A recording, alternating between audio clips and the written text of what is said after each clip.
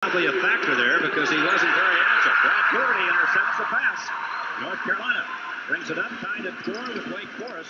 Reddick almost fumbled. Perkins realizes Green's playing behind him.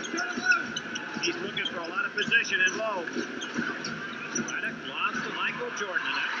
Michael Jordan on the board, and North Carolina leads 6-4. Look for Wake Forest.